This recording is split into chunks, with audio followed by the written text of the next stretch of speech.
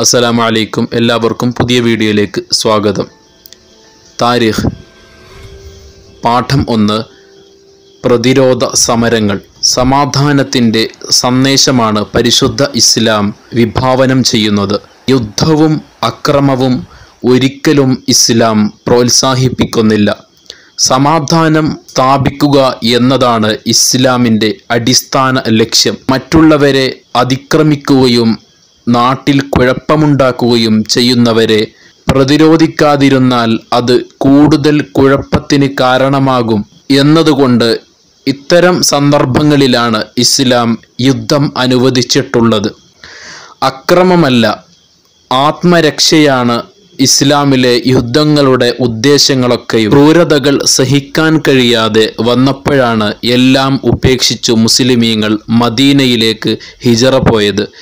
എന്നാൽ മദീനയിലും ശത്രുക്കൾ അവർക്ക് സ്വസ്ഥത നൽകിയില്ല. മദീനയിലെ യഹൂദികളെയും മറ്റും ഉപയോഗപ്പെടുത്തി മുസ്ലിമീങ്ങളെ ദ്രോഹിച്ചിട്ടുണ്ടായിരുന്നു. അവിടെയുണ്ടായിരുന്ന ശത്രുക്കൾ. എല്ലാം ദീനിനു വേണ്ടി സഹിക്കാൻ നബിസൊല്ലാഹു അലൈ വസല്ലമ മുസ്ലിമീങ്ങളെ ഉപദേശിച്ചു.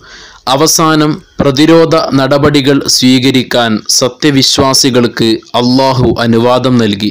അള്ളാഹു പരിശുദ്ധ ഖുർആാനിലെ ഹജ്ജ് സൂറത്തിലെ മുപ്പത്തി ഒൻപതാമത്തെ വചനത്തിൽ പറയുന്നു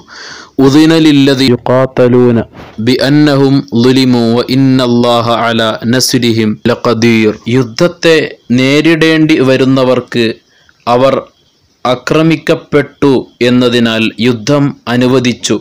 നിശ്ചയമായും അള്ളാഹു അവരെ സഹായിക്കാൻ കഴിവുള്ളവനാണ് എന്ന് അള്ളാഹു ഖുർആാനിൽ പറഞ്ഞു.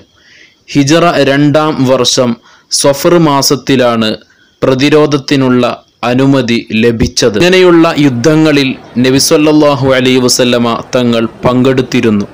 നബിസൊല്ലാഹു അലൈ വസല്ലമ തങ്ങൾ സംബന്ധിച്ച യുദ്ധങ്ങൾക്ക് ഗസ്വത്ത് എന്നും സംബന്ധിക്കാത്ത യുദ്ധങ്ങൾക്ക് ശരിയത്തും എന്നും പേര് പറയുന്നു.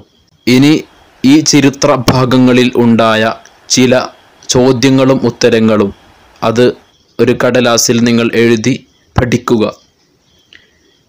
ഇസ്ലാമിന്റെ അടിസ്ഥാന ലക്ഷ്യം എന്താണ്? ഉത്തരം സമാധാനം സ്ഥാപിക്കുക എന്നുള്ളതാണ് ഇസ്ലാമിന്റെ അടിസ്ഥാന ലക്ഷ്യം. അടുത്ത ചോദ്യം ഇസ്ലാം യുദ്ധം അനുവദിച്ചത് ഏത് സന്ദർഭങ്ങളിലാണ്? ഉത്തരം മറ്റുള്ളവരെ അടിച്ചമർത്തുകയും നാട്ടിൽ കുഴപ്പമുണ്ടാക്കുകയും ചെയ്യുന്നവരെ പ്രതിരോധിക്കാതിരുന്നാൽ അത് കൂടുതൽ കുഴപ്പത്തിന് കാരണമാകും എന്നതുകൊണ്ട് ഇത്രയും സന്ദർഭങ്ങളിലാണ് ഇസ്ലാം യുദ്ധം അനുവദിച്ചത്.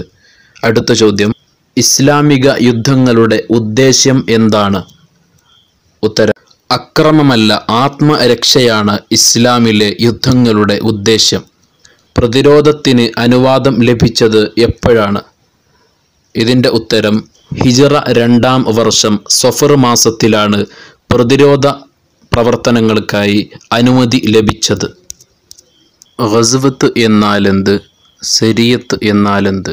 അടുത്ത ചോദ്യം. ഇതിന്റെ ഉത്തരം നബി സല്ലല്ലാഹു അലൈഹി വസല്ലമ സൻ സംബന്ധിച്ച യുദ്ധങ്ങൾക്ക് ഗസ്വത്ത് എന്നും സംബന്ധിക്കാത്ത യുദ്ധങ്ങൾക്ക് ശരീയത്ത് എന്നും പറയുന്നു.